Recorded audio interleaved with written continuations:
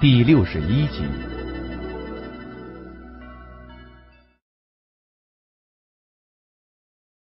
方寒运起木黄真气，轰隆隆的化为青光，朝那龙卷风出的巨蛇飞去。黑水王蛇本身就是一种体型巨大的海蛇，纵横海洋，鲨鱼、鲸鱼都要逃跑，更何况是生长了千年的货色。化为黑水王蛇之后，只怕一般的神通秘境高手根本不是他的对手。乃是强横的妖兽。方寒读过诸世界，知道黑水王蛇这种巨蛇的用途，尤其是成交之后的黑水王蛇用处更大。想不到第一次出海就有这样的奇遇。黑水王蛇蜕皮成蛟的一刻，也是比较虚弱的时候。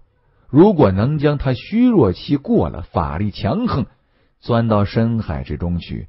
就算是神通秘境五重天人境的高手，都难以把他杀死。神通一二重的人，去只会给他做食物。居然碰到黑水王蛇化蛟，运气不要太好。魔女飞起来的时候也非常眼馋。就在方寒飞过去的时候，岩突然说话了：“有神通秘境的高手。”埋伏在那黑水王蛇四周，似乎是等他化蛟，并非只有我们。言的话音刚落，龙轩的声音也传了过来。我感觉到水汽有波动，似乎还有别人。方寒是第一次看见精怪蜕变为妖，而且是黑水王蛇这样的庞然大物，洪荒异种。那一阵阵磅礴的妖气、腥咸之气传达出来，海上风暴猛烈，狂飙呼啸，鬼神嚎哭。如果这时候有航行的船只经过，船上的人只怕要活活吓死。生灵没有修成神通之前，只能称呼为精怪。像鹤仙子能用庞大的精神给人造成种种幻象，迷惑普通人，这。只是叫做精怪，也就是普通人所说的成精了。而鹤仙子如果能够修炼到神通秘境，精神转化为法力，那就成妖了，是真真正正的妖怪。精怪、妖怪两个不同的等级，正如肉身境和神通秘境。贺仙子现在虽然跟着方寒吃了很多丹药，得了无穷的好处，又被迦兰点化。但要蜕变为妖怪，踏入神通秘境，没有奇遇的话，起码还要一甲子的时间。这一甲子六十年的时间里面，还要天天服食灵药，使得血肉纯净，没有杂质。所以这一次，方寒没有带贺仙子出来。在茫茫大海之中，鹤仙子也帮不到什么忙，反而会成为拖累。黑水王蛇。此时，在风暴水龙卷的中央，方寒运用真气飞得近了，在几十里开外，越发看得真切。这条巨蟒全身的鳞片每一块都有脸盆大小，现在全部都张起来，逆鳞如刀，猛恶狰狞。尤其是那血盆大口，就算是一头大象都可以随意的吞下去，真真正正的。蛇吞象，没有半点虚假。那血盆大口之中的森森毒牙和象牙一般长，锋利无比，可见被咬到了该是个什么下场。方汉知道，这黑水王蛇的獠牙比起修罗骨刺都好上十倍。如果被天人境的高手得到，打入种种大阵，用法力洗炼，甚至。可以炼制成宝器级别的飞剑。这样庞大的黑水王蛇化为蛟之后，法力会强横到什么地步？方寒还只是靠近这黑水王蛇，就感觉到对方的法力比自己足足强横一倍都不止。自己凝练真气之后，已经有六百匹烈马的力量，而这条黑水王蛇已经上千了。要是这条黑水王蛇学会了神通，凝练真气之后，和方寒一样进入第二重真元境，那法力会强横到什么程度？三千烈马之力，五千烈马之力。不过，黑水王蛇这类妖怪，就算踏入神通秘境，也没有机会修炼神通，除非是被妖道武宗的人收取。不过，在这之前，他肯定会受到许多修道人的窥视。晋升神通秘境，成就妖怪，是最危险的时候。没有门派的壁虎，基本上十个有七八个遭到不测，动静太大了，太容易招来窥视。此时，在风暴中央的黑水王蛇似乎感觉到了危险，看到了方寒等人的接近，叫声越来越凄厉，越来越凶狠，一波波的精神传达出来，造成种种幻象。似乎要吓退方寒、魔女、龙轩，还有隐藏的窥视者。不过这没有任何用处。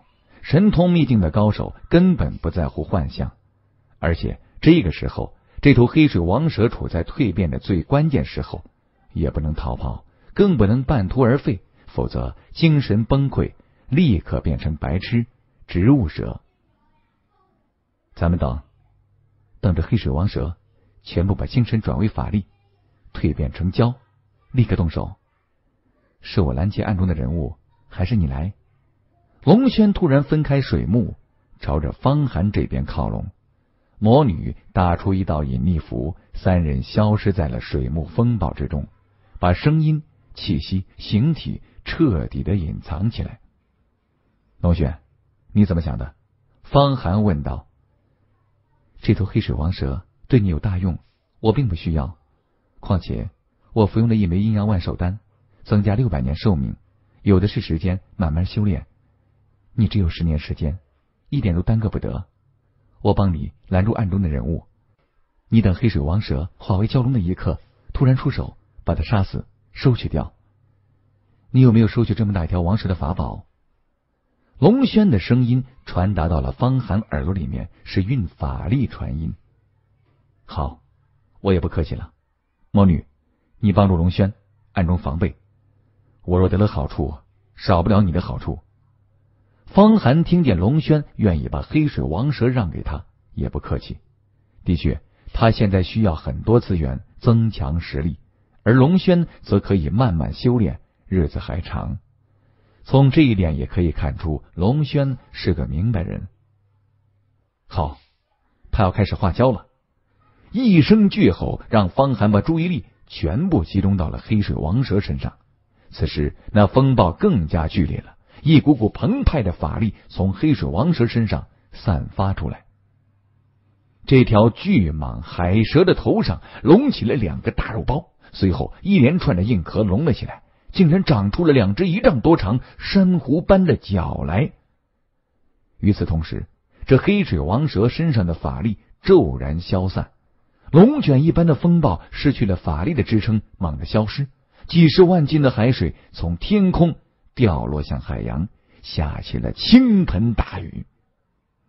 就是此刻，此时的方寒再不迟疑，把手朝外一抓，木黄真气澎湃而出。化成一根青色巨木，撞击向这头化蛟之后的黑水王蛇。对付这种海蛟，普通的飞剑根本不起作用。不过，方寒的青帝木皇功化为巨木，一击一击让对方晕厥，正适合对付庞然大物。青色巨木的速度极快，虽然没有超越声音，但几十里距离转眼就到，狠狠的。砸在了黑水王蛇的身体之上，这头海蛟发出惨烈的吼叫，跌落到了海面上，摇晃着脑袋，似乎是被砸晕了。这是他刚刚化蛟，法力还不怎么会用，而且虚弱到了极点。否则，以他浑厚的法力，就算单打独斗，方寒也收拾他不下来。木皇化丝，天罗地网。看到这样的情景，方寒动作飞快。他现在实战经验丰富，知道该怎么运用真气。那青色巨木一下把黑水王蛇撞翻之后，突然化为了一张大网，笼罩下去。敢捡便宜。就在这时，不远处海面上突然一条黑影猛烈窜起，方寒只感觉到气流一震，那人飞行之间周围产生了一圈圈乳白色的气流是音爆。这是速度超越了声音，把声音拉在后面，形成了奇异景色。韩赤、龙轩早就在等待着。韩赤见一飞击出，和那个人影撞了个正着。哼，不知死活！那人影也没有什么动作，隐隐约约一抓一拍，韩赤剑居然倒飞了回去。而这人影如影随形，快如闪电鬼魅，在空中连连闪烁。接近了龙轩和魔女，凌空两掌，速度太快了。龙轩和魔女还没有反应过来，就被两掌击中，发出惨叫，跌落下海面。而这个人影陡然一个转折，向方寒扑了过来。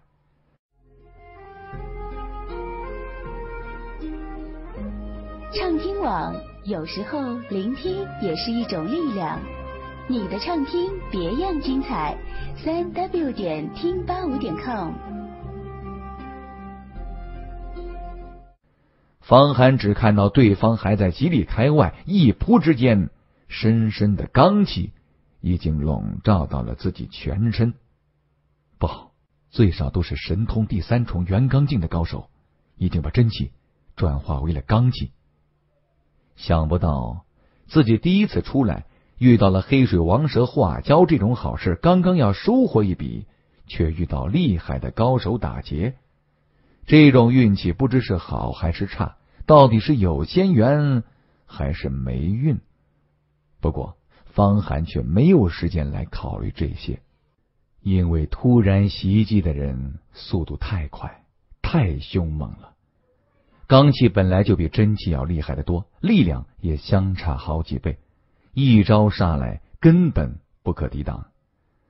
方寒根本看不清楚来人的真面目，只感觉到对方笼罩在一片乳白色气流之中，黑影摇曳，一片片音爆震荡着自己，真气虚浮，身体也似乎要解体，威力之大，猛烈如斯。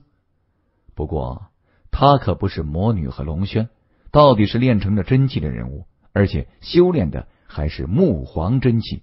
太古神通，身体更修炼的是阎罗金身，自然不会不堪一击。在对方罡气笼罩全身的时候，方寒发出了天龙八音，混合真气喷吐而出，字字音符冲着对方的罡气撞击，顿时就把罩住自己的罡气抵挡住。扑杀过来的人影受到阻挡，也稍微的停顿了一下。似乎没有料到方寒居然能够发出这么强大的阴杀之术。天龙八阴的威力是随着修为的高深而成倍增加。现在方寒练成的木黄真气一喷吐出来，那些阴结就形成了阴符，再组成八条隐隐约约的青龙，直接绞杀，不亚于任何真气法术的攻击。噼里啪啦。八条音符青龙连番炸在雷恩身上，把对方的罡气炸得嗡嗡作响，钢铁爆鸣，火花四射。不过却没有撼动对方的罡气。但是方寒并不停留，运足真气，手上立刻出现一根青色木棍，朝天一举，向下劈杀，直奔对方脑袋。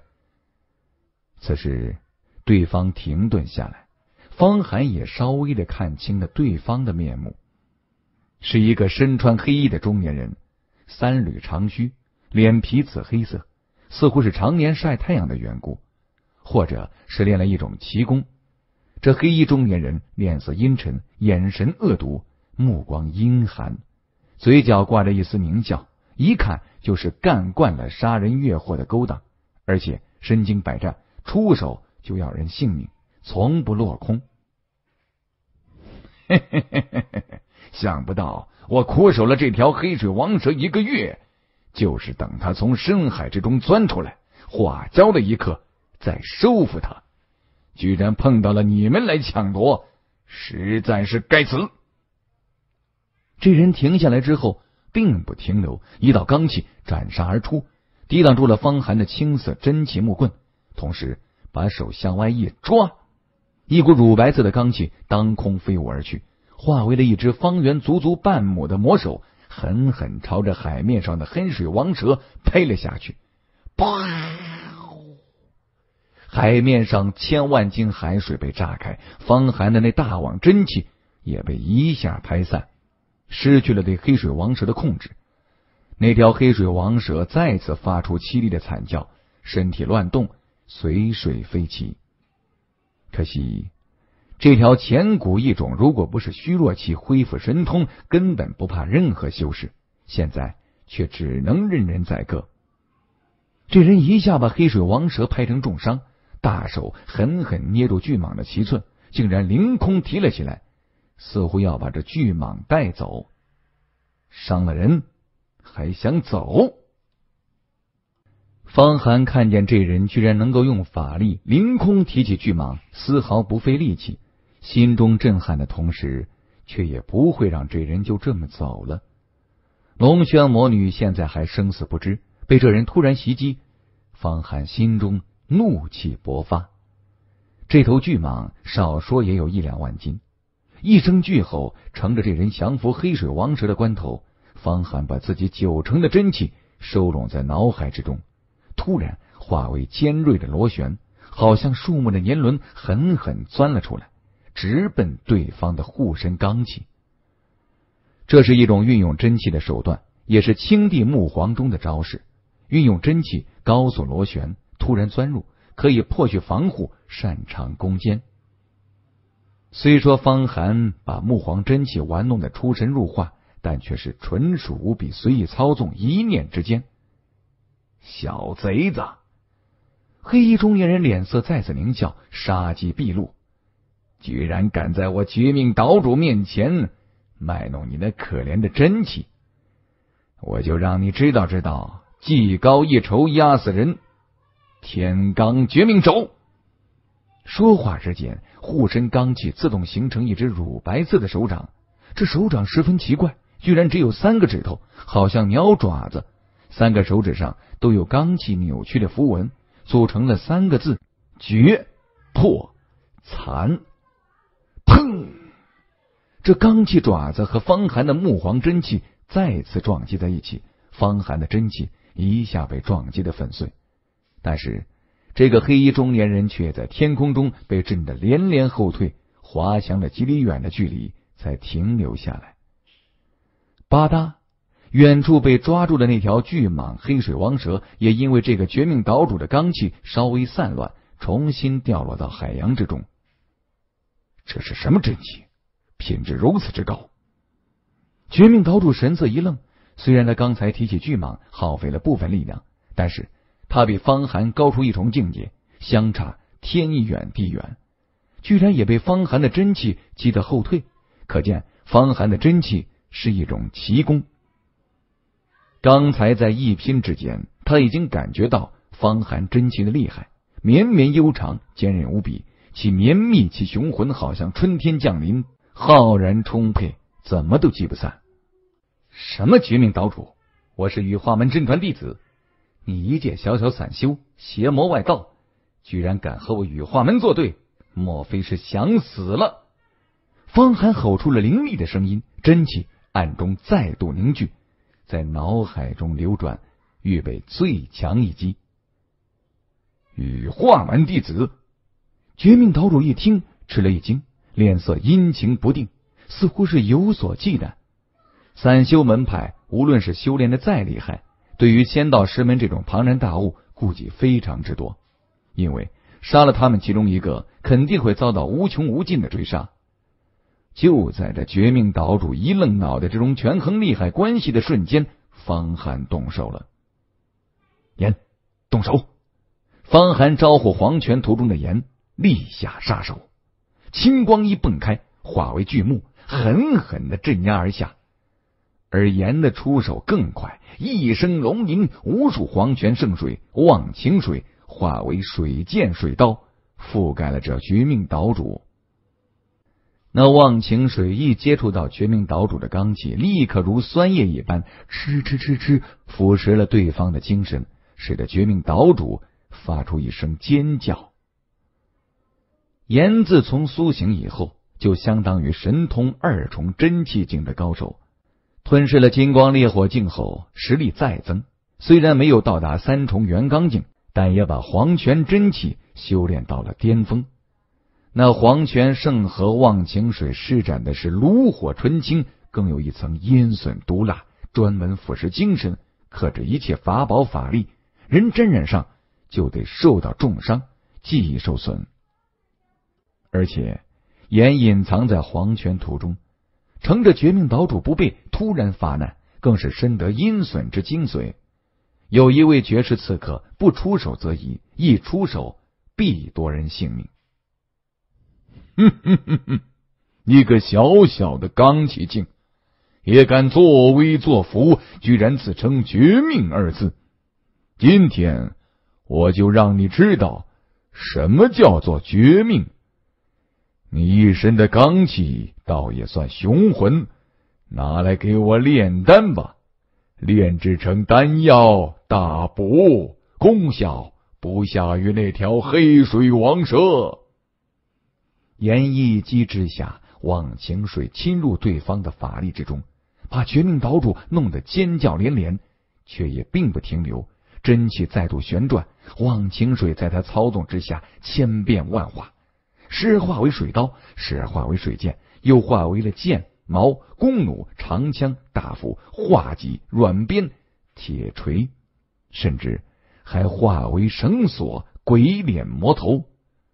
不出三个呼吸，来势汹汹、杀人越货的绝命岛主被打得不知道东西南北，护身罡气摇摇欲坠，似乎要被打散。一旦打散了护身罡气，就是必死的局面。因为凭借肉身在大海上，只有死路一条，不被人杀死，淹都会被淹死。听众朋友，您刚才收听的是梦入神机的长篇玄幻小说《永生》第六十一集，是由陈颂无声为您播讲的，欢迎您继续收听。